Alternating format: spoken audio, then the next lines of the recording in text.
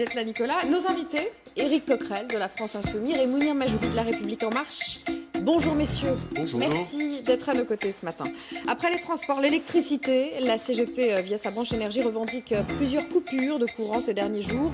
Même Philippe Martinez, vous l'entendrez, semble un peu gêné ce matin. On va en parler, c'est à la une de l'actualité.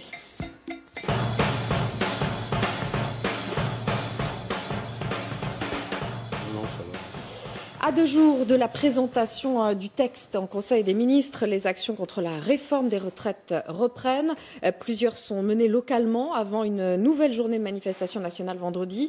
Et cela alors que le climat euh, s'est durci. Hier, nouvelle action, coup de poing des enseignants à Agen contre le nouveau bac et la réforme des retraites. Des manuels scolaires étaient posés au sol et les élèves devaient les piétiner s'ils voulaient entrer dans l'établissement. Anne-Sophie Châtenay. Des manuels scolaires piétinés par les élèves à leur entrée dans leur lycée. Ces images ont été tournées devant un établissement d'Agen où enseignants et manifestants sont mobilisés contre la réforme du baccalauréat et le début des épreuves de contrôle continu. Les livres en question sont des manuels périmés qui auraient de toute façon euh, euh, eu comme destin la benne. Euh, donc la question c'est surtout pourquoi est-ce qu'on conduit des enseignants à en arriver à ce point pour pouvoir être écoutés, à devoir faire des actions assez, assez spectaculaires. Livres jetés à terre, intrusion dans un établissement scolaire ou encore jet symbolique de copies à la poubelle. Depuis quelques jours, les actions coup de poing se multiplient devant ou à l'intérieur des lycées. Des actes inadmissibles pour Jean-Michel Blanquer. Il y a juste des gens qui jouent le jeu du désordre pour en, en quelque sorte que s'accomplisse leur prophétie négative. Ils disent ça va mal se passer et ils sont les acteurs du fait que ça se passe mal. Le ministre de l'Éducation nationale précise qu'à ce stade, ces perturbations restent très marginales. Piétiner des livres euh, après en avoir euh, jeté contre les grilles euh, d'une préfecture. Éric Coquerel, Mounir Majoubi, est-ce qu'on joue avec le, côté spectaculaire des actions? Ah oui, il y a un côté spectaculaire. Tout à l'heure, je vais rejoindre une action des gouttiers qui vont jeter leurs vêtements, comme ça a été fait à Clermont-Ferrand. Parce que manifestement, il y a un gouvernement qui refuse d'entendre qu'une majorité de la population est contre sa réforme. Je dis bien contre sa réforme dans l'ensemble maintenant. C'est à peu près ce qu'indique tous les soins et ce que nous, on constate dans la rue. Et ces gens-là, on les entend pas. Bon. Donc, euh, pour se faire entendre, bah, à un moment donné, il faut effectivement, euh, j'allais dire, utiliser des moyens qui fait que d'ailleurs on en parle ce matin, euh, qui font le buzz, qui, font, qui, qui permettent de, de signifier, contrairement à ce que dit le gouvernement, que cette grève n'est pas en train de s'éteindre, elle s'étend en réalité en termes de profession. Euh, Je vous laisse éteindre les téléphones parce que ça vibre sur le plateau. Merci. Euh, les actions spectaculaires, hein, Mounir Majoubi, quand on entend Éric Coquerel, on, on est obligé d'en arriver là face à la surdité, de- surdité du gouvernement? Moi, ça me désole à chaque fois. Et quand M. Coquerel, chaque matin, vient en soutien à toutes les actions les plus Vous avez spectaculaires, remarqué, je suis on n'est pas au spectacle. Ah, mais c'est pas le spectacle. Non, ça, vous allez me vous parler. ça. Chaque Mais fois que je vous regarde, voir les grévistes avec vous êtes parler excellent dans le mansplaining. Vous coupez les femmes, vous Ouais. coupez les hommes, vous prenez la parole à chaque fois, vous allez me laisser parler. Mm. Moi, je ne supporte plus de voir chaque matin aller. euh, C'est euh, fait pour.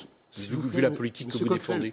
Non, Non, mais si pour, c'est laisser parler plus, tout le monde. vous le dis. Vous savez quoi Vous ressemblez à ce que vous défendez. Vous empêchez les gens de parler. Vous empêchez le gouvernement aujourd'hui d'amener jusqu'au bout ses propositions. Ouais, j'entends la, la colère, j'entends le désespoir de certains qui sont en train de manifester. Mais moi, je leur dis, faites attention à ceux qui vous manipulent. Vous faites partie de ceux qui manipulent. Pendant que vous leur faites faire ça, pendant que vous leur dites qu'il n'y a que ça à faire, eh bien, ils ne participent pas au débat. Aujourd'hui, il y a des professeurs qui ont très peur pour leur avenir, très peur pour leur rémunération, très peur pour leur retraite. Est-ce qu'ils sont en train de discuter avec le gouvernement? Est-ce qu'ils croient encore à ce que nous disons? La réponse, c'est non. Ils ne nous croient plus. Pourquoi? Parce que des gens comme vous agitent ainsi euh, tout, euh, tout ce mouvement social pour les empêcher en eux-mêmes, eux-mêmes, Oui, de s'engager pour être transformés. Les gens sont idiots. Les gens ne sont pas idiots, Si, les si, gens sont en colère, si, mais si. les gens sont en colère, les gens vivent. Mais vous êtes vous faites méprisant, numéro, là. Vous regardez faites pas un argumentaire, vous vous faites un ressemblez, vous ressemblez non, à ce que vous ressemble faites à au rien, quotidien. je- je vous écoute. Et, et vous trouvez ça formidable que ces enfants, ces jeunes, aient à piétiner ces livres. Vous soutenez ça? Vous venez dire que vous le soutenez Vous Mais soutenez ça écoutez, je vais vous dire une chose. Moi, Un, je trouve ça terrible. Non mais ça va, c'est bon, c'est à peu près tous le- les éléments de langage Bah, qu'on entend chez les macronistes, Allez-y. sur les réseaux sociaux. Euh, on aurait des, des- des grévistes qui ne sauraient pas pourquoi ils font grève, qui seraient manipulés par les uns, etc. Venez avec moi voir les grévistes, au lieu d'avoir ce genre de discours qui laisserait en- entendre que quelque part, il y a des responsables politiques, puis d'un côté, il y a des grévistes, les responsables politiques manipuleraient les grévistes qui n'auraient pas compris toute l'étendue et toute la qualité de votre Les- grévistes, moi, je des les gens reçois au qui, quotidien. Des gens qui seraient invités à dialoguer alors même que vous avez clos le dialogue, puisque le projet de réforme que vous avez présenté, c'était celui de départ et c'est celui de fin, et que vous n'écoutez pas la majorité des syndicats en France qui le refusent. mais non, je ne demande pas, c'est la réalité. Là, ah là, pendant que vous parlez, vous mentez. Ah bah alors allez-y. C'est pas. La, la, CFDT cette semaine. L'addition des syndicats qui sont contre votre projet ne sont pas majoritaires aujourd'hui dans le public et dans le privé. Là aussi, vous mentez. Pour arriver à cette majorité, vous faites une info calcul. Le premier syndicat, c'est la CFDT. Donnez-moi votre calcul. En discutant avec la CFDT. Donnez-moi votre calcul. CGC, FO, FSU, CGT, Solidaire.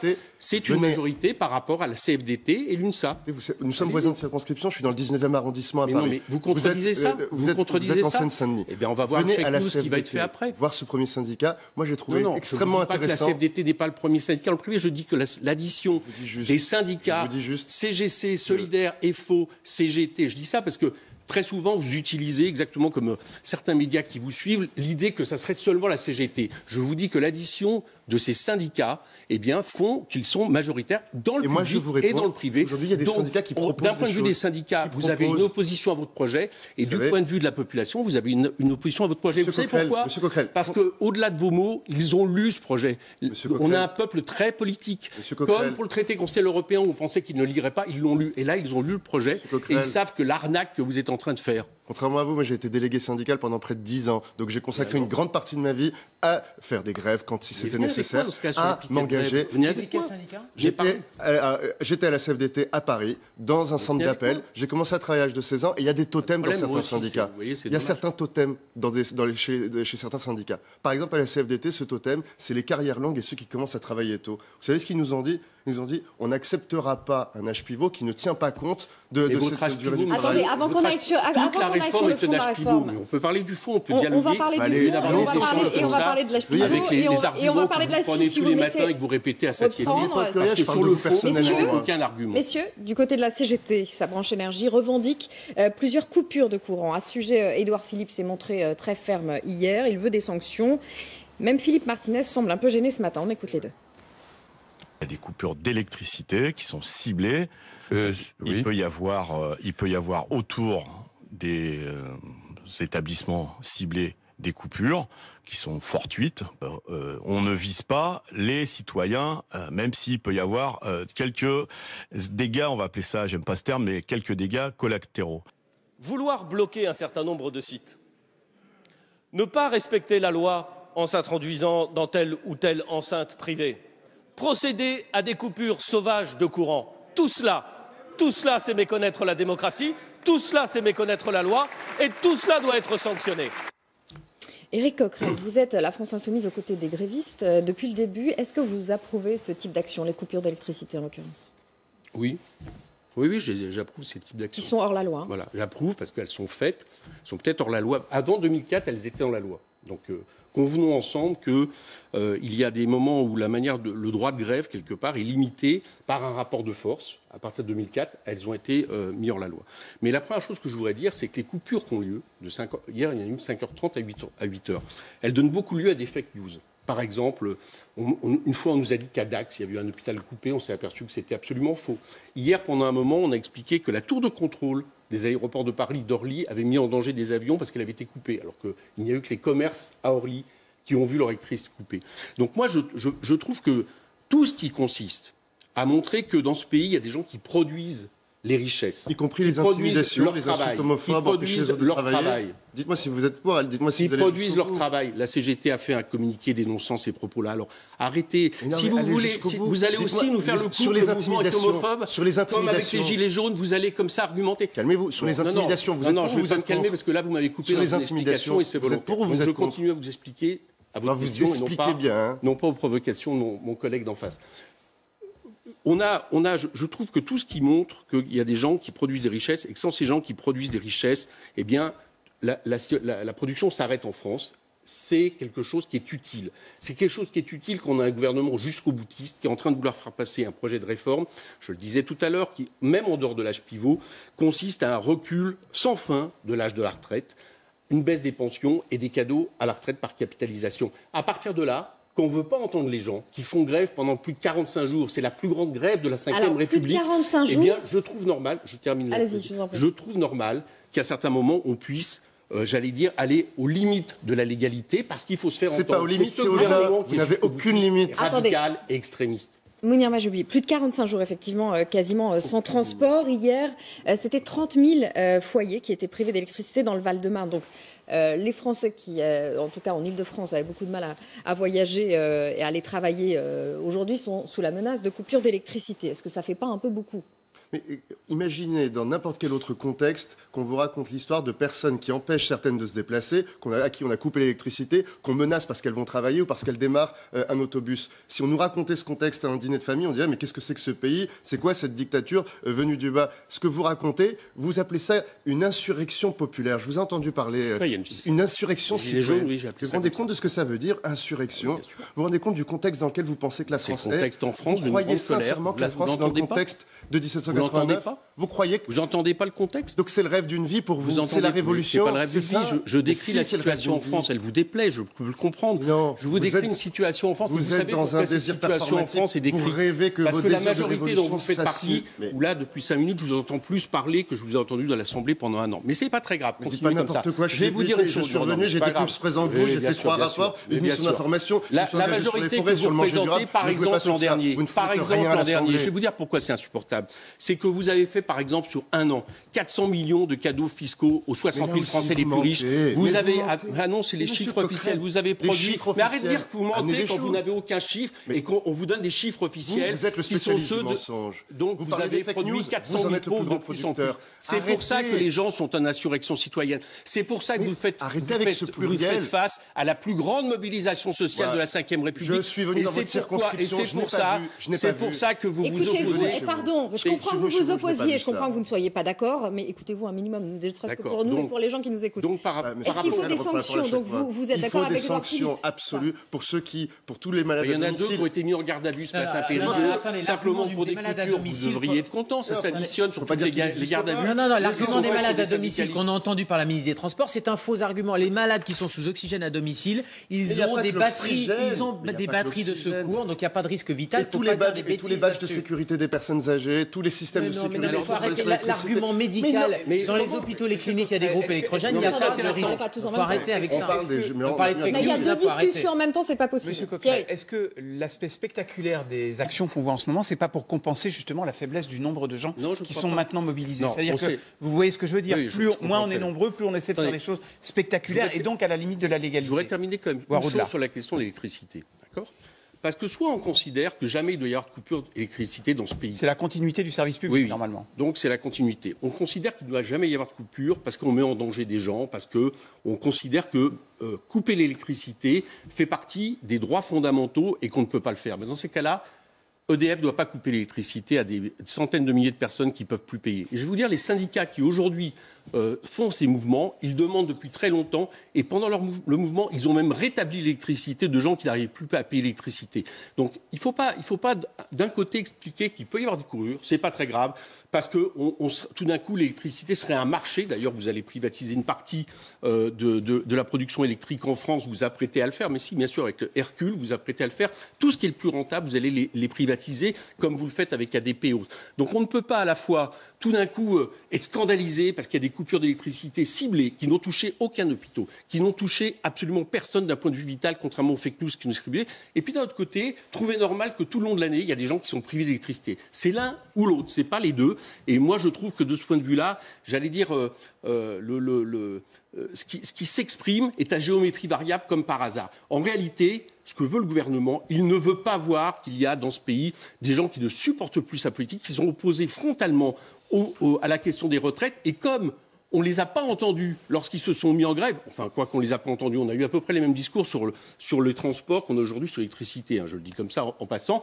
Eh bien, euh, on est en train d'essayer de criminaliser le mouvement. Un jour, c'est la rotonde qui aurait été incendiée, soi-disant, sans aucune preuve. Tout le week-end, on a entendu ça par, par, euh, par, des gens opposés à Macron sans aucune preuve. Maintenant, c'est des coupures d'électricité. On a l'impression que ceux qu'ils font sont des délinquants. Eh bien, ce n'est pas des délinquants, c'est des gens qui se battent pour leur système de retraite auquel ils tiennent. voilà, ce que je Et voilà pourquoi j'assume ces coupures. Moi, je crois qu'il y a des biens communs sacrés. L'électricité, c'est un bien commun sacré. Les transports, c'est un bien commun sacré. Nos vies sont construites parce que nous savons que nous avons à disposition l'électricité. Parce que nous savons que nous avons... Et, la retraite. Et il y a la retraite. Et vous savez que c'est au nom de la défense de ce bien commun que dans cette réforme des retraites, nous essayons de lui donner un avenir à cette retraite. En envoyant les gens travailler jusqu'à 67, 68, 69 ans. Est-ce que vous oserez dire aujourd'hui, ce matin, que notre gouvernement, notre majorité a décidé qu'il y ait moins d'argent dans le système de ah, retraite, que l'on participe moins au système de retraite.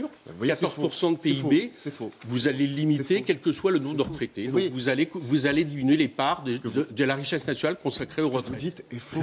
Le, ah, écoutez, c'est votre texte. C'est une. Euh, c'est votre texte. Une, mais non, mais ça s'appelle la règle d'or. Vous l'avez lu très confortable. Vous l'avez lu Vous l'avez lu Non seulement j'ai lu et j'ai participé à le soutenir. Monsieur, c'est pas moi le négociateur de, de, de ce texte. Donnez-moi Monsieur, c'est pas moi le négociateur. Bah, pour vous mettre d'accord, le texte n'a pas été déposé. Le Conseil d'orientation des retraites. Heureusement ça, il a été diffusé. Messieurs, pour vous mettre. Vous savez ce que vous dites. Messieurs, pour vous mettre c'est les articles 1, 2 et 3. C'est les articles qui décrivent la règle d'or. Pour vous mettre d'accord, le Conseil d'orientation des retraites prévoit que 14%, ça va être le maximum nécessaire avec une perspective à 50 ans. C'est un rapport de novembre dernier. Non, le, rapport prévoit qu'avec 14% de PIB, si on n'augmente pas le 14% de PIB, mais c'est un choix politique, eh bien, on va arriver à un certain moment à une certaine déficit, d'ailleurs relativement faible par rapport aux déficits qui vont être provoqués, c'est un autre sujet, par la loi qui va être, euh, qui, va être mise en, place. Et manifestement, on discute entre des gens qui ont lu la loi et des défenseurs qui ne l'ont pas lu et qui Alors, Monsieur Coquel, ne jouez pas avec ça, vous ne l'avez passer, Monsieur Coquel, vous n'avez pas eu le texte de la casse de la retraite pour quelque chose qui améliorerait la situation. Poser deux questions. Donc une à chacun, et euh,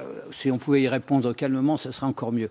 La première, Monsieur Coquerel, c'est clair que vous avez obtenu un soutien, le mouvement de grève a obtenu un soutien majoritaire. Mais ça se dirige vers un échec historique pour la CGT, parce que vous n'avez pas réussi à entraîner le privé, parce que la CGT a démontré son incapacité de bloquer le pays. Donc comment comment se sortir et éviter qu'une humiliation pour le mouvement ouvrier auquel vous à laquelle vous participez d'une certaine façon en soutenant tout, tout ce qu'ils entreprennent. Ça, c'est la question pour vous. Si je me permets une question à j'oublie très rapidement, c'est vous, vous, aviez censé, vous étiez censé commencer un acte 2 sur le dialogue social eh ben, le dialogue social, ça a commencé super mal. Hein. Il a fallu ce mouvement de grève, et celui de la CGT d'ailleurs aussi, pour que vous concédiez à la CFDT un, recul, veut dire, dont elle a su saisir l'importance.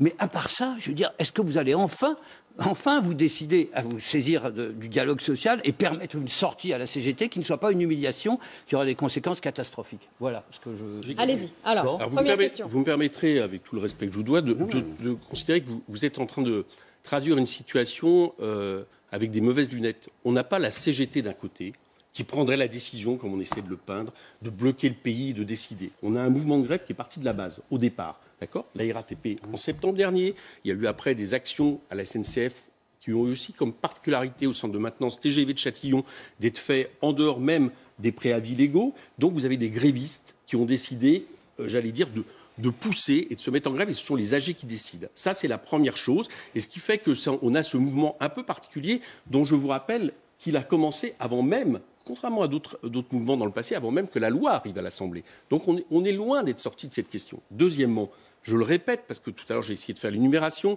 mais je crois qu'on ne veut pas l'entendre. On ne veut pas l'entendre pour schématiser ce qui se passe. La CGC, Force ouvrière, la FSU, Solidaire, la CGT, ce n'est pas la seule CGT, ce n'est pas seulement M. Martinez euh, dans l'action. Donc arrêtons de caricaturer et laissez penser qu'il y aurait simplement quelque chose comme la une du point. Là, on voit Martinez en caricature, euh, comme on a vu Mélenchon dans le temps. Tous les gens qui s'opposent à un moment donné au système sont caricaturés. Ce n'est pas ça qui se passe. Et comme ce n'est pas ça qui se passe, vous allez avoir des surprises dans les mois à venir. Parce que moi, je crois que ce mouvement n'est pas du tout terminé. Vous avez raison sur une chose. Dans le privé, ça devient extrêmement dur de faire une grève. Ça, c'est vrai par le rapport de force sociale, d'ailleurs, dont on discute d'ailleurs un peu ce matin, c'est-à-dire qu'est-ce qui est admissible, comment on admet des choses qu'il y a 20 ans on aurait admis en termes de coupure d'électricité. Il y a un rapport de force euh, dans le privé qui est très dégradé et les gens, quoi qu'ils en pensent, quoi qu'ils veuillent, et je vous assure qu'ils sont opposés à ce projet de retraite, ils se mettent difficilement, ont des difficultés pour se mettre en grève. Mais pour autant, je crois que ça n'empêche pas que les gens, cette colère sociale, elle monte. Et là où je trouve que le gouvernement joue un jeu extrêmement dangereux, c'est que quand vous avez une colère sociale qui monte dans le pays maintenant depuis plus d'un an et demi, avec des, euh, choses qui, se, euh, qui, en découlent, des gens qui sont blessés, des, arrestations, des gardes à vue, des mutilés à vie, etc., et qu'à aucun moment le gouvernement n'entend par exemple sur le projet de retraite, que vous avez une majorité dans la population qui ne le veut pas, alors oui, vous prenez le risque de tensions supplémentaires qui, à un moment donné, peuvent entraîner des choses euh, qu'on peut regretter les uns et les autres, que ce soit de la, part des forces de police, comme on l'a vu depuis quelques jours, ou de la part de telle ou telle action. Mais la responsabilité, elle est de la part du gouvernement qui est en train de bloquer le pays pour imposer un projet qui est minoritaire dans ce pays. Mounir Majoubi, répondez d'abord à Éric Coquerel et ensuite à Nicolas, s'il vous plaît. Moi, je ne doute pas de votre sincérité, Monsieur Coquerel. Vous êtes député d'une circonscription très populaire et même très pauvre. Moi aussi. Moi, je crois que vous voulez vraiment vous battre pour euh, les personnes qui ont le moins et qui aujourd'hui essayent de s'en sortir. C'est aussi mon cas. Et vous savez, il y a le sujet des retraites, mais cette année, là, on va prendre du retard à cause des mobilisations, à cause de, ces ralentissements sur le minimum universel. Qu'est-ce qu'on promet à ceux qui aujourd'hui n'ont rien? Qu'est-ce qu'on promet à ceux qui aujourd'hui touchent ces minima? Qu'est-ce qu'on leur promet pour leur avenir? Il y a la dépendance. Qu'est-ce qu'on promet aux dépendants? Aujourd'hui, les dépendants, soit vous êtes très riches et on s'occupe de vous, soit vous êtes au milieu et là, il faut que vos, enfants soient, soient présents et malheureusement, ils n'y arrivent pas, soit vous êtes pauvres et aujourd'hui, vous êtes laissés à la rue. Donc, le sujet aujourd'hui de la solidarité des quartiers populaires, des quartiers pauvres, ce n'est pas uniquement cette mobilisation. Vous, vous pensez que le gouvernement aujourd'hui est dans une révolution contre les plus pauvres et contre les plus faibles, et que vous seriez les seuls à pouvoir les protéger. La réalité, c'est que dans ce système de retraite à point, qui aujourd'hui sera le plus protégé Les plus pauvres des retraités. Dans le système du minimum, euh, euh du minimum universel, qui sera le plus protégé? Les plus pauvres de vos quartiers, les plus pauvres de vos quartiers et de mes quartiers, des quartiers où j'habite, où vous habitez. Qui demain sera protégé Les plus vieux de nos quartiers les plus populaires. C'est ça la vérité du combat qu'on doit mener. Moi, je ne veux pas qu'on se trompe de combat et qu'on mente aux Français. En agitant les épouvantails d'un côté, on, on empêche d'amener les débats là où ils devraient être. À l'Assemblée nationale, la France Insoumise ne participe pas au débat sur les retraites, puisque vous êtes contre. Vous savez très bien qu'on vous empêchez, vous empêchez que nous discutions. Là où d'autres, là où d'autres partis à l'Assemblée nationale, qui sont pourtant dans l'opposition, viennent faire des propositions. Là, là, pour le coup, vous mentez, mais c'est pas très grave. Les choses fausses. Vous proposez des projets alternatifs. les amendements depuis deux ans que nous avons déposés en contenu, etc. Vous verrez que vous mentez, mais vous ne les avez peut-être pas entendus, votre présence. Monsieur, non, mais écoutez, je, je, décris. Vous, vous mentez. C'est un peu dommage. Nous sommes voisins de circonscription, nous sommes à la même assemblée. Non. Mais... Ah si, bon, enfin c'est pas grave. Ce que j'essaye de vous dire. Là ah, aussi, les, les, gens peuvent aller, aller regarder les amendements que nous avons déposés, le débat parlementaire. Vous vous rendez compte la, que la, moyenne d'application d'un député France Insoumise par rapport à un député En Marche. Il y a pas regardez ce que vous êtes en train de faire. Mais non, mais arrêtez de balancer des choses qui sont des fake news à répétition. Alors, je reviens sur la retraite. Mais non, Monsieur Coquerel, je pas vous de répondre sur les retraites. Mais non. Mais si, il faut regarder retraites. à laquelle je vais répondre avant que vous puissiez continuer. Non, Monsieur Coquerel, vous ne répondrez pas. je vous ai laissé dire n'importe quoi pendant une heure. Donc, laissez-moi répondre non. On ne coupe pas la parole aux gens. on ne fait pas, on s'impose pas comme ça dans, la parole d'une personne. J'attends quand même une réponse à ma question. Est-ce qu'il y a moyen quand même d'offrir à ce mouvement qui est d'ampleur une sortie honorable? Parce que moi, je m'inquiète sur ce que vont devenir ces gens qui se sont battus et qui ne doivent pas sortir humiliés d'un conflit. Quand on sort humilié, c'est ce qu'il y a de pire. Ça veut dire un vote pour l'extrême droite dans quelques mois, euh, en 2020. Euh. Euh, donc comment vous faites pour, au fond, rétablir un dialogue social qui effectivement a singulièrement manqué alors que vous l'avez proclamé? Aujourd'hui, on débat des pratiques extrêmes de ce mouvement social. La réalité, c'est que la majorité de ce mouvement social n'est pas dans les pratiques extrêmes la majorité des euh, militants CGT euh, que j'ai connus, que j'ai souvent contre qui je me suis présenté, contre qui j'ai souvent bataillé, ont été euh, des personnes avec qui j'ai pu participer à diriger des entreprises, participer à représenter les personnels. Ces gens-là n'ont pas l'intention de mettre à plat notre démocratie. Mais certains, oui. Et je pense que vous, M. Coquerel, vous le souhaitez. Mais donc, ceux-là, qu'est-ce qu'on leur dit? On leur dit, vous êtes une bande de violents homophobes qui empêchent les autres de travailler, qui coupent l'électricité à tout le monde et qui bloquent les trains? Ou on leur dit, ou on leur dit, non, nous, on, considère que votre parole doit avoir un sens, mais il faut pouvoir la transformer politiquement. L'enjeu aujourd'hui, c'est est-ce que la République en marche, la majorité, le gouvernement, est capable de laisser une place à cette parole Il y a eu, moi je considère, euh, une incompréhension sur le sujet de l'âge pivot et sur les totems de certains syndicats. Dans les syndicats réformistes, il y a des sujets qui sont très importants. Ils n'ont pas été entendus au bon moment. Aujourd'hui, ils le sont. Et la leçon qu'on doit retenir de tout ce qui est arrivé ces dernières semaines et de ces derniers mois, c'est que sur les grands sujets de société de transformation, que sont celui de la réforme des retraites, mais encore une fois, celui des minimums euh, donnés à ceux qui sont les plus pauvres et sur celui de la dépendance, on ne peut pas faire sans eux. Ce sujet des retraites, c'était un sujet que nous avions construit, que nous avions commencé à travailler depuis près de trois ans. Certains d'entre nous ont pu considérer que le débat avait eu lieu pendant la présidentielle. Ça n'est pas le cas. Nous devons plus, dans les mois qui viennent, engager les syndicats. Mais vous savez, pendant qu'on s'insulte ici et qu'on parle très fort, sur le sujet des hôpitaux. Il y a des manifestations, mais il y a aussi des négociations. On dirait qu'on pourrait répondre. Parce que là, ça, fait, ça fait 9 mois qu'on est en grève et il y a zéro négociation. Pardon. Et les Vous pouvez dire qu'elle a démarré. Non, non, les 1200 chefs de service démissionnaires, c'est un coup d'épée dans l'eau parce qu'il n'y a aucune avancée justement en termes de négociation. Je suis bien placé. Moi, ça fait 9 mois que je suis assis, je sors de garde Il faut que je pleure mon assignation auprès du directeur ou les directions d'hôpital n'en ont rien à faire. Vous avez reconnu qu'aujourd'hui, cette discussion a enfin lieu. Et que, ah non alors moi je, alors bah, moi je écoutez, vous savez ce qu'on va faire tous les deux On va aller ensemble. Je vais vous dire une à Gennevilliers et à, par, et à la Villette. ensemble à Robert Debreu. J'étais il y a peu de temps. Bah, c'est dans, ma circonscription et j'y vais régulièrement. C'est en bas de chez moi. On va y aller ensemble. On va écouter ce que nous dit ensemble le personnel, d'accord Le pédiatrie. J'ai pas écouté ce que me disaient les gens de Si, moi j'y suis allé justement. Donc on va y aller ensemble. On va y aller ensemble. Qu'on se visite chacun de plus La situation est parfaite. Regardez, je vous propose quelque chose. Allons-y. D'accord. Allons-y ensemble. Vous parlez au nom des salariés. Vous parlez même au nom, soi-disant, d'une majorité silencieuse de la CGT qui Donc on va aller ensemble.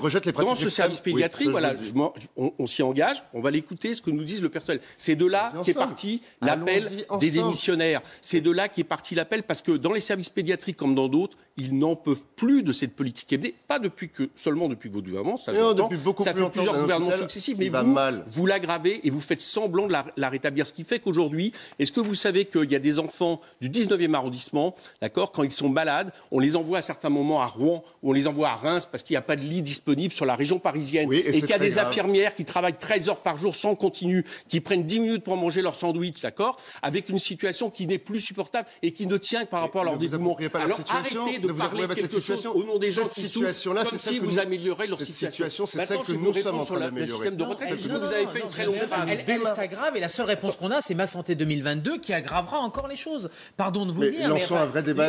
Là, pour le coup, il débat politique. Les professionnels de santé n'ont pas de réponse et ne sont pas écoutés. Enfin, on ne peut pas dire le contraire. Moi, je vous dis que Agnès Buzyn, depuis plusieurs semaines, et notamment depuis la mobilisation Les gens n'entendent pas, ils ne comprennent pas. C'est les gens qui sont responsables. Ils ne comprennent pas le bien que vous faites à ce pays. Je parle jamais des gens comme ça. Je vais vous dire une chose. Je, je vais revenir sur le système de retraite, parce que vous avez fait une très longue phrase pour rien dire.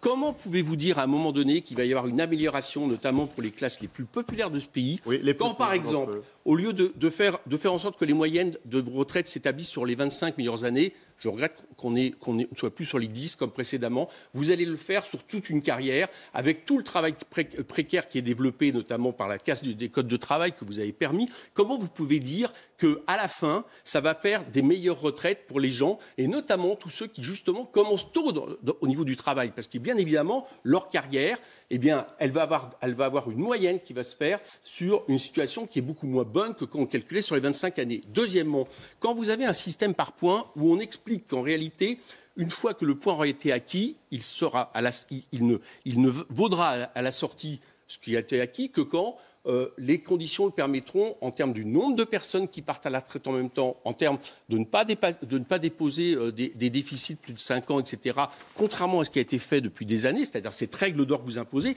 qui font qu'en réalité, quand vous allez commencer, c'est ça votre système, à cotiser, vous ne serez jamais à quelle année vous pourrez réaliser cette retraite. C'est dans votre texte de loi. Ce qui fait, je vous le dis, et c'est le rapport de Levoix, puisque vous faites comme si vous, n'aviez rien n'avait été écrit, rien proposé, que effectivement, dans les décennies à venir, on va glisser sans arrêt toujours plus loin, tout simplement parce que vous avez, décidé de ne dépenser que 14% du PIB, alors que les retraités, aujourd'hui, simplement, en, font 20%. Eh bien, ce n'est pas le choix de ce, ce, société que je propose.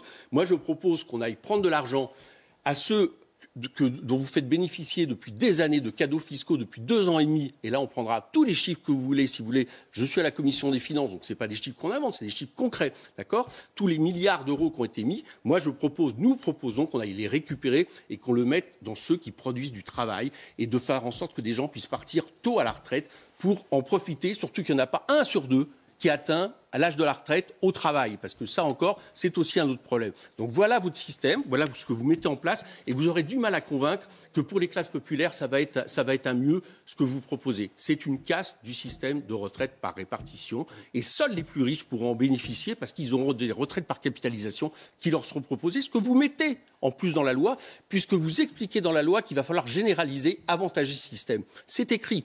Monsieur Kogel, croyez-vous sincèrement qu'on peut s'engager en politique, être une majorité, devenir député, devenir ministre, être ministre, avoir un gouvernement qui s'engage à détruire les plus pauvres d'un pays? la preuve. Vous croyez sincèrement? C'est ça qui fait le parcours d'une vie. on s'est réunis tous ensemble dans une pièce en disant on va détruire les plus pauvres pour enrichir les plus riches. Vous faites du discours orwellien, c'est-à-dire que vous faites ça et vous l'enrobez de discours qui on laisse l'impression que vous amenez du progrès social et autres. Vous donc ça, veut dire deux ans et demi. Pousser, tirer le fil jusqu'au bout? cest dire qu'on fait des séances secrètes entre députés à l'Assemblée nationale pour se dire comment on va anéantir les je ne sais pas si c'est des discussions secrètes ou si ça se passe à Versailles avec les 200 plus grosses entreprises mondiales, ou si ça se passe avec les potes de Macron qui sont à la finance. Mais je vous dis que cette politique avantage la finance. Et vous le faites d'ailleurs, vous le théorisez. Vous le théorisez. Vous le faites avec la théorie du ruissellement, où vous dites on va mettre de l'argent dans les profits et à un moment donné, ça va jaillir dans l'économie, au moins assumer le... Sauf que ça, ça ne marche pas. Ça fait 30 ans que ça ne marche pas, c'est ce que vous proposez. Donc nous, on préfère que l'argent aille du côté du travail. Allez, ceux qui produisent des richesses. Je vais pas essayer de vous convaincre, de, je vais pas vous demander de nous croire, je vais essayer de vous convaincre. Vous êtes dans l'opposition la plus extrême, vous rêvez à la révolution. Non, la réalité, c'est que que ce soit dans le rapport de Levoix, dans la première version du texte, dans celle qui a été proposée au Conseil d'État, dans celle qui sera présentée au Conseil ministre que nous ne connaissons pas, ni dans, ni dans sa codification, ni dans Mais celle qui nous vous avez remarqué, il y a même des choses qu'on connaîtra après que la loi a été votée. Ni dans celle qui nous sera envoyée à l'Assemblée. Nous sommes députés, nous allons avoir un texte qui va arriver euh, bientôt quand nous aurons ce texte, nous pourrons continuer, mais déjà dans les premiers éléments, vous voyez bien que ce système, tel qu'il a été pensé, les raisons pour lesquelles on a pris ce, risque politique, pour les raisons pour lesquelles on a engagé la nation à rentrer dans ce débat, c'est qu'on est sincèrement tous convaincus que le système tel qu'il est aujourd'hui, il ne peut pas non, ça fait partie des réformes structurelles qui sont notamment imposées par l'union européenne, à laquelle vous, avez validé largement. nous ne subissons pas, nous décidons. Un tout petit peu de hauteur, pardon, messieurs. Juste analysons. Euh, voilà, non, non, juste une dernière question. Il y a un point quand même avec Coquerel sur lequel, euh, pardon, je ne suis pas convaincu. J'entends votre passion, j'entends un certain nombre de vos arguments, mais euh, je ne crois pas qu'un parlementaire puisse, au fond, lui qui vote la loi, qui doit l'incarner, dire c'est pas grave si on fait quelque chose d'illégal. Et en plus, je ne comprends pas que vous ne soyez pas choqué qu'on piétine des livres, euh, par exemple. Hein, les, livres en question, c'était qu'on les jette, même les livres en question. non, non, les manuels en question, en réalité, ils, étaient, ils n'étaient plus d'actualité. Cet exemple. Ont été, je prends cet exemple. les, coupures, les coupures d'électricité pour, les gens. Qu'est-ce que vous diriez d'un parlementaire qui euh, euh, interviendrait pour soutenir l'évasion fiscale en disant, ces patrons qui font de l'évasion fiscale, ils ont tout à fait raison parce qu'on leur prend trop d'argent. Mais je vais vous répondre. Je vais l'assumer. Vraiment, je suis choqué. Hein. Non mais comment vous soyez choqué, je vais l'assumer. Moi, mes références, c'est les Lumières, c'est Locke, etc. Il y a un moment donné où il y a le droit, effectivement, à l'insurrection quand il y a un monde injuste qui s'impose. Et dans ce que vous êtes en train de dire, moi, je suis plus choqué en tant que parlementaire que pour imposer un système injuste à une population on mutile des dizaines de personnes, d'accord? On instrumentalise la police comme elle a rarement été instrumentalisée sous la Ve République, au point même que là, ça a tellement été loin qu'on commence à avoir des regrets de la part de ceux qui ont nommé, par exemple, un préfet comme l'Allemand, qui impose une politique qui qui n'a aucun rapport avec le droit de manifester, mais plutôt le fait d'empêcher, d'intimider les manifestants. Moi, ça, ça me choque beaucoup plus. Ça me choque plus que depuis deux ans et demi, D'accord? On a un gouvernement qui fait du cadeau aux plus riches, mais comme on l'a jamais vu dans la Ve République, qui est en train d'accroître les inégalités, qui supprime les APL, qui est en train de casser le système de retraite et qui fait exactement comme s'il faisait l'inverse. Donc je vous réponds, Nicolas je suis en colère. Je suis en colère comme les gens qui s'expriment. Et à partir de là, en tant que militant, en tant qu'élu, et on verra bien ce que pensent les gens qui m'ont élu, eh ben moi, ça ne me choque pas qu'à un moment donné, il y ait des coupures d'électricité hein. ciblées. Ce qui me choque éventuellement, on verra bien. Ce qui me choque, c'est les fake news. C'est-à-dire ceux qui, pour attaquer ces gens-là, disent il y a des hôpitaux qui ont été coupés, etc. etc. Ça va.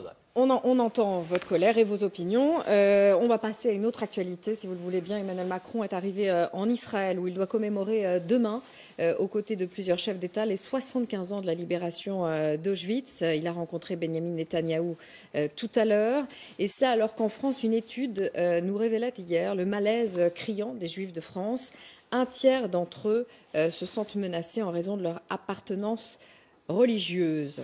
Dans cette même étude, on peut lire que euh, la communauté juive, euh, voilà, que les causes de l'antisémitisme, selon les juifs, ce sont pour 26% la cause des idées d'extrême droite, 23% en raison des idées de l'extrême gauche. Éric Coquerel, je rappelle qu'en décembre dernier, Jean-Luc Mélenchon avait été critiqué. Euh, il avait critiqué lui-même vertement euh, le CRIF, s'en prenant, je le cite, à ses oukas arrogants et communautaristes, ce qui lui avait valu par la suite des procès en antisémitisme. Hier, à l'Assemblée nationale, le député UDI Agir Meyer Habib a mis en cause Jean-Luc Mélenchon. écoutez.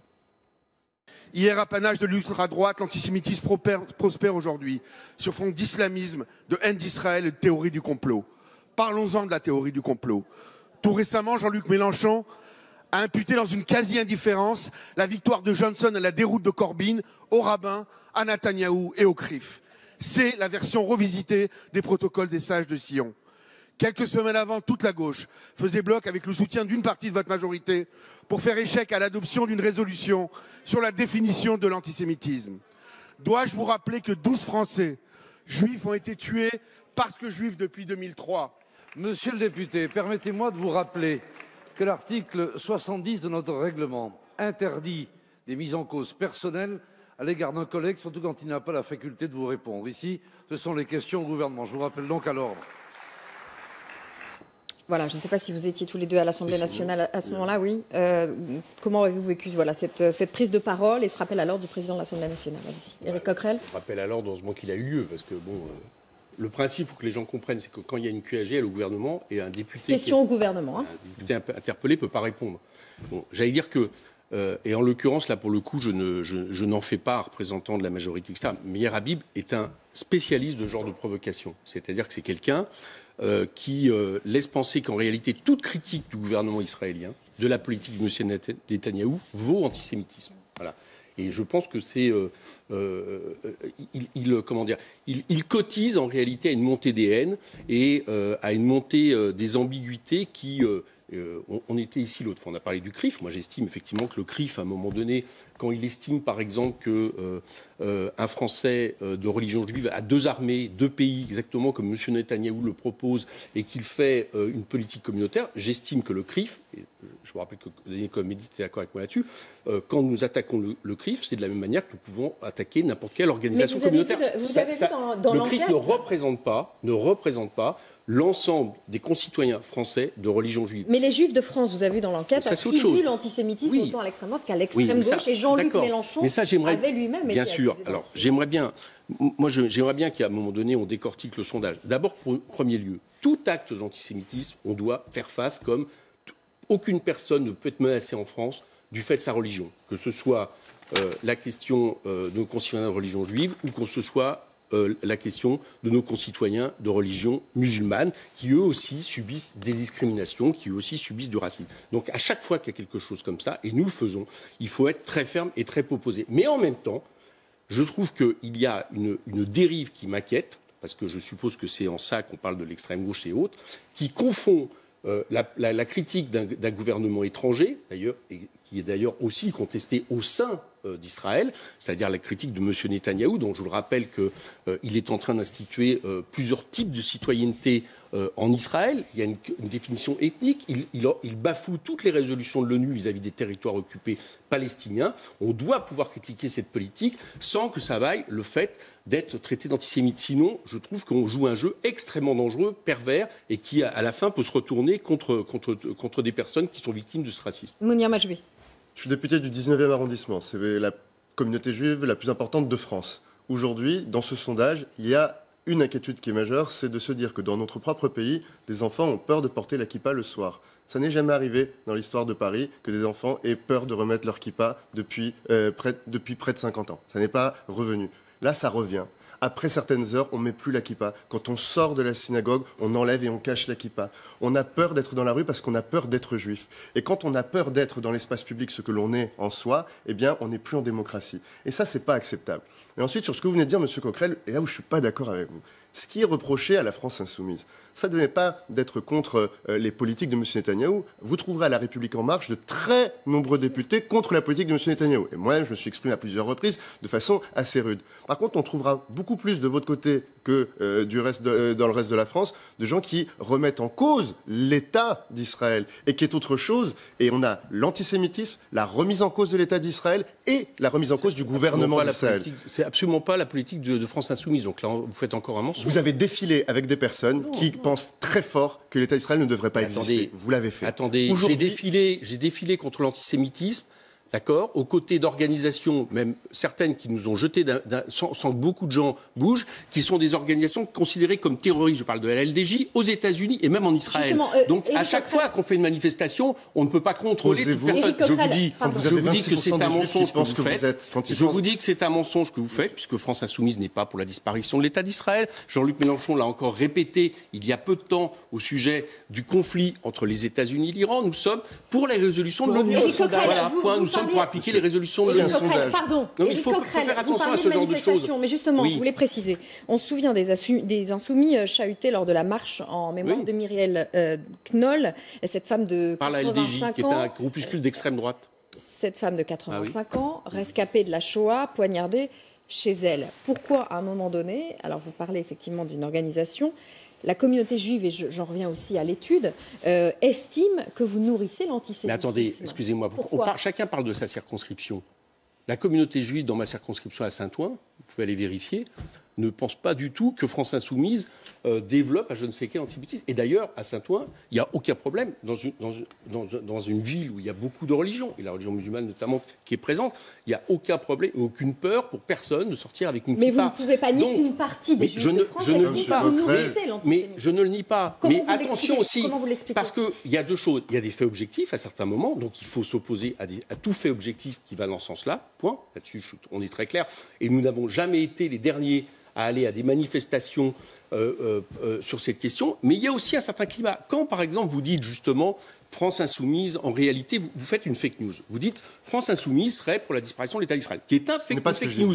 Vous vous rendez bien compte que vous-même développez un climat où vous laissez penser, d'accord, dans, dans, un, dans un monde où, le, où, via le choc des civilisations, via la montée des communautarismes, il peut y avoir à un moment donné des sentiments de peur qui sont justement travaillés, c'est-à-dire opposer des communautés les unes contre les autres, comme l'a tenté M. Meyer à Bibi quand on, lance des fake news ou qu'on fait croire que France Insoumise, sur ce que vous venez de faire, est pour la disparition de l'État d'Israël, comment voulez-vous qu'à un moment donné, un juif de France qui écoute ça se dise pas, bah alors là on est complètement entouré. Parce que même Mélenchon, qui a fait près de 20% des voix, il est pour la disparition de l'État d'Israël et, donc il est antisémite, etc.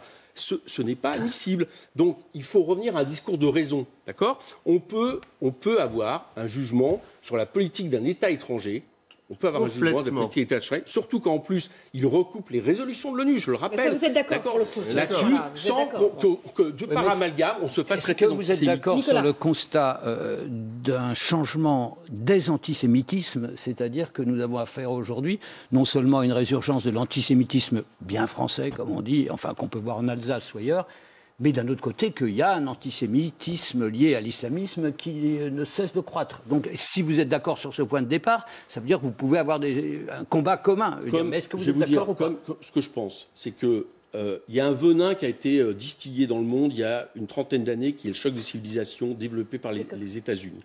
D'accord? Ce choc de civilisation, c'est l'idée qu'en réalité, les affrontements ne seraient plus des affrontements idéologiques et autres, mais des affrontements basés sur des questions de religion. Et ça, effectivement, ça a entraîné des choses, tout comme euh, le rejet, à un moment donné, de nos concitoyens de religion musulmane qui en souffrent aussi, c'est la même origine. C'est-à-dire qu'on considère une globalité et on considère que c'est quelque part le mal, que euh, euh, c'est des gens qui, qui développent on, mélange tout, on va développer, on va mélanger par exemple des terroristes, on va mélanger euh, des fondamentalistes. Vous ne répondez pas, euh, Nicolas. mais si, je réponds. C'est que ce que je considère, c'est que ça, ça fait partie euh, d'une montée, justement, de monter les communautés les unes contre les autres. Donc je vous dis que effectivement ça existe. Maintenant, attention à une chose, c'est que ça n'existe pas autant qu'on le dit. Moi, on m'explique, par exemple, dans le 93, d'accord, on me donne une image de, de Seine-Saint-Denis quand, on regarde de l'extérieur, où on a l'impression que les enfants, par exemple, on me l'a sorti, d'accord Que les enfants euh, nés euh, juifs ne peuvent pas aller dans des écoles publiques. C'est faux. C'est faux. Et quand vous commencez à développer ce... C'est compliqué quand même. Enfin, moi, pour être de Saint-Ouen, je vois que c'est compliqué. Non, à Saint-Ouen, c'est pas compliqué. Et, que, si, si, et que naturellement, les enfants juifs vont plutôt dans des écoles juives, à la limite, une espèce d'autocensure. Mais parce que c'est exactement ça. Parce que, alors là, à Saint-Ouen, pour le coup, je vous assure, venez avec moi. Il n'y a pas longtemps, on a vu, je vous y invite, vous allez voir que les relations sont et, de par la volonté aussi de chaque responsable. Ce que dit est une réalité. Oui, mais c'est aussi une réalité. Ce que je veux vous dire, ce que je veux vous dire, et par exemple, le CRIF, effectivement, euh, euh, appuie énormément là-dessus, c'est qu'il y a aussi un climat où vous laissez penser quelque part que euh, tout un, enfant juif en France n'est plus dans une situation on avait même entendu à un moment donné que quelque part un enfant juif en France est dans une situation qui serait meilleure euh, que dans des, dans des endroits où, euh, par exemple, des guerres éclatent sur, sur, sur, euh, la question du conflit israélo-palestinien. Je, dis, je dis que je, je trouve qu'il y a un climat qui est distillé et que ce climat, justement, nous invite et nous doit nous inciter à toujours être très clair dans ce qui est dit. Alors, pour être clair, il y a effectivement, puisque c'est le, fond de votre question, il y a des gens, par exemple, qui vont dire euh, comme on, pouvait dire sale juif. D'accord? Je remarque d'ailleurs qu'ils sont condamnés par les tribunaux, parce que les, tribunaux font la, part justement euh, sur, euh, sur la manière dont on utilise les mots. Mais de manière générale, de manière générale, ce n'est pas ce que je, côtoie, ce n'est pas ce que je vois, par exemple, on est quand même dans les gens qui critiquent la politique d'État On doit pouvoir constater aujourd'hui, et, si vous lisez les très beaux textes de la rabbin Orviller ou de Chaim Corsia, le grand rabbin de France, une montée des antisémitismes au pluriel, des formes nouvelles d'antisémitisme qui s'ajoutent à un antisémitisme classique, traditionnel, plus ancien, euh, d'antisémitisme qui vient aussi de l'islamisme et de la radicalisation islamique à certains endroits. Je n'ai pas dit les musulmans, on parle bien d'une radicalisation, y compris dans les opinions vis-à-vis d'Israël, mais aussi, il faut faire attention à ça, à un antisémitisme culturel venu euh, de groupes euh, révolutionnaires en, en, pleine convergence et qui ont un problème avec l'État d'Israël et qui, aujourd'hui, le font vivre à, à nos concitoyens juifs. Aujourd'hui, ça, ça fait partie de ce avec quoi vous devez vivre quand vous êtes juif. Mais et là où je partage quelque chose avec vous aussi, c'est que cet antisémitisme, il va aussi avec des nouvelles formes de racisme aujourd'hui en France. Et qu'il ne faut pas opposer antisémitisme et racisme, il faut reconnaître les spécificités de ces nouveaux antisémitismes elles sont spécifiques. Mais aujourd'hui, il y a des nouvelles façons d'être raciste, il y a des nouvelles façons d'être euh, contre les musulmans, d'être contre les noirs, d'être contre les arabes. Et quand on est dans des circonscriptions très euh, mixtes et très euh, multiples, avec des cultures et des origines très diverses, on les voit, ces nouvelles formes de discrimination. Et je rappelle que notre gouvernement s'est engagé sur les discriminations au travail. Alors, Parce que d'autres discriminations au travail. Donc, il faut toujours s'appuyer sur la raison pour ne pas les développer. Majoubi, j'aimerais vous entendre sur quelque chose. Notre invité, pardon, si ça vous dérange pas pour la disparition de l'État d'Israël. Ça fait partie. Non, allez-y, continuez. Non, mais ça fait partie discours rationnel, parce que euh, sinon... Majoubi, notre invité hier, le grand rabbin de France, Haïm Corsia, justement, il pointait du doigt le rôle des réseaux sociaux euh, dans cette libération de la parole euh, antisémite et les conséquences que cela a sur les jeunes. En tant qu'ancien secrétaire d'État au numérique, vous connaissez le phénomène, hein, je ne vous l'apprends pas. Emmanuel Macron vous avez d'ailleurs chargé de légiférer sur le sujet l'année dernière. Aujourd'hui, la loi Avia, qui vise à lutter justement contre cette haine en ligne, est coincée dans la navette parlementaire. les élus ne parviennent pas à se mettre d'accord sur l'obligation pour les plateformes en ligne de retirer en 24 heures les contenus manifestement illicites, notamment les discriminations religieuses sous peine d'amende. Donc ça n'avance pas. Le texte, il a été bloqué en ce qu'on appelle CMP, mais il est revenu à l'Assemblée. Donc ça y est, là maintenant, le texte est revenu à l'Assemblée nationale. Hier soir, il y a eu un débat. Cédric O, mon successeur, y était. Euh, Laetitia Via a pu représenter à nouveau euh, les objets de divergence que nous avons eus avec le Sénat. Le Sénat a quasiment refusé l'intégralité des articles qui étaient euh, le cœur de cette loi. Donc nous avons été obligés de constater un désaccord avec le Sénat. Mais notre cinquième République est quand même bien construite. À la fin, l'Assemblée la plus représentative du peuple, c'est l'Assemblée nationale. Et c'est donc elle qui reprend en main le texte. Donc ce texte arrivera et sera voté. Arrivera, arrivera, on est toujours. On en a débattu hier à l'Assemblée. C'est-à-dire qu'on parle d'un futur immédiat, là, ça y est, le texte est là. Qu'est-ce que dit ce texte? Et on peut en débattre longtemps. Euh, il fallait qu'on trouve un moyen de créer une charge plus lourde pour les plateformes pour répondre aux euh, pratiques aujourd'hui qui sont inacceptables.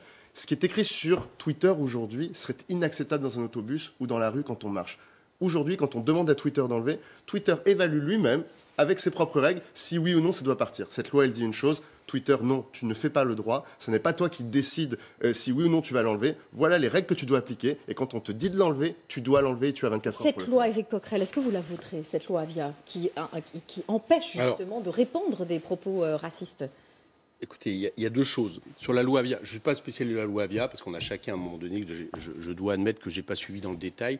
Euh, le problème qui se pose, c'est de savoir par quel biais et qui, à un moment donné, estime que tel ou tel contenu n'a pas sa place sur les réseaux sociaux. Sur le principe de la nécessité de faire quelque chose, on le partage tous, je crois, euh, Twitter, à certains moments, euh, euh, se transforme un peu en égout, où à peu mm. près tout circule, etc. Et c'est effectivement pas admissible que, contrairement à des médias, on puisse avoir des, plateformes, des supports qui disent bah, je m'en bats les, vous avez qu'à répondre. En gros, c'est ça. Donc, bon. donc, il faut le faire. Par contre, je pense qu'en réalité, ça ne peut pas être les plateformes elles-mêmes, ça ne peut pas être sur euh, qui détermine ce qui serait euh, bon ou pas. Donc mhm. euh, là-dessus, je crois qu'il y a des faiblesses dans cette loi que, nous, avons, que nous avons pointées. nous avons mis des amendements.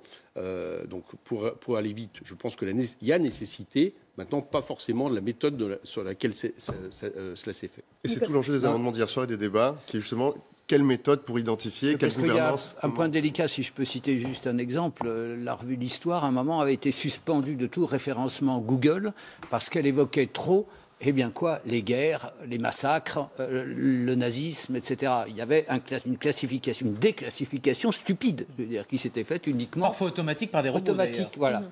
Ce qu'introduit cette loi Avia, mais qui est en fait un combat qu'on mène maintenant au niveau européen et qui devrait devenir une norme, c'est comment certaines règles qui sont enfermées dans les algorithmes, dans des réunions privées, et alors là pour le coup, c'est pas du complotisme, il y a des vraies réunions privées secrètes chez Google, Facebook, où, ils, se demandent quel sera l'algorithme le plus efficace pour vendre, pour euh, être plus performant, comment ça on les oblige à les rendre ouvert et comment on crée des gouvernances ouvertes. Ça ne veut pas dire que le code source il est rendu public à tout le monde. Ça veut dire que un, un régulateur y a accès, deux, les associations de citoyens y ont accès et on pourra dire bah voilà la règle qu'on a utilisée pour faire et voilà comment on fait. Aujourd'hui c'est une boîte noire. On constate a posteriori ce qui s'est mmh, passé. Mmh, mmh. est-ce qu'au-delà du problème des réseaux sociaux, il n'y a pas un problème d'éducation? Parce que vous avez fait le constat tout à l'heure.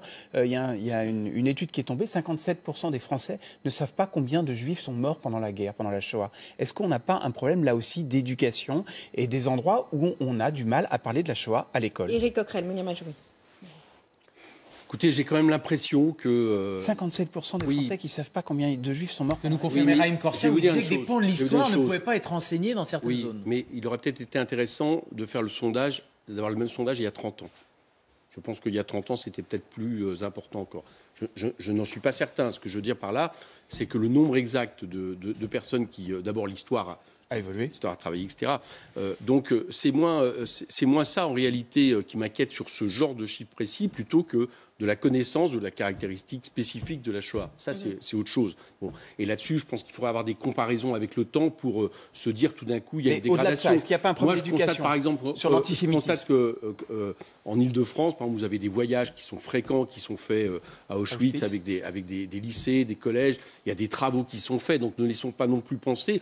Et j'ai l'impression d'ailleurs que, très franchement, de, mémoire, de, mémoire, quand j'étais comment ça a été daté quand j'étais à l'école, j'ai l'impression qu'il y, a presque plus de choses aujourd'hui qui sont faites euh, euh, de cette matière-là. Maintenant, euh, c'est jamais assez. Vous voyez ce que je veux dire? Que ça soit sur la question de la Shoah, que ça soit sur la question de l'esclavage, des choses qui longtemps ont été absents en termes de, dans les manuels scolaires ou pas suffisamment présentés, ce n'est jamais assez. Et il est évident que pour dire plus jamais ça, il faut d'abord garder la Mounir Majoubi sur le rôle, justement, sur l'éducation. Il y a deux sujets. Il y a celui sur lequel on est d'accord, qui est l'ambition de la transmission. Et ça, c'est un débat qu'on ne doit jamais cesser d'avoir. À chaque fois, on peut se dire qu'on doit alléger les programmes, on doit les rendre plus modernes. Et il y a toujours un combat de ceux qui sont là pour transmettre, de ceux qui essayent de trouver l'argent pour transmettre. Je rappelle que les institutions juives se sont beaucoup battues en France pour pouvoir financer tous les lieux de transmission euh, l'histoire de la Shoah. Et puis, il y a le sujet qu'il ne faut pas mettre de côté, mais qu'il ne faut pas caricaturer. Là, je suis d'accord avec vous. Il y a des incidents au moment, en période scolaire, où des élèves ont empêché certains professeurs d'aborder certains sujets, où on jouait avec certains professeurs, il y a des témoignages qui sont diffusés, ceux-là, ils sont inacceptables et il faut pouvoir intervenir, voir si le mal n'est pas plus profond. Parce que qu'un adolescent, pensant faire le malin culturellement en disant moi j'ai pas envie qu'on me parle des juifs, euh, etc., dit ça. Bon, lui, il faut le sanctionner, on peut le virer. Mais si on se rend compte que c'est le fruit d'un système, où c'est tous ses camarades qui pensent comme ça, ça, c'est pour moi aujourd'hui dans très peu d'endroits en France, mais ça existe. Cela, je vous rappelle que Blanquer a mis en place ces fameuses brigades euh, qui doivent permettre, pas avec de la police, hein, avec des professeurs, avec des éducateurs, de venir dans ces établissements pour dire là, ce qui est en train de se passer est inacceptable, il faut qu'on puisse rentrer dans cette discussion. Mais aujourd'hui, ça existe. C'est pour moi pas anecdotique, mais c'est peu répandu, mais ça existe. Et on, on en parlera avec euh, Nicolas dans un instant. Merci messieurs d'avoir été nos invités ce matin. C'était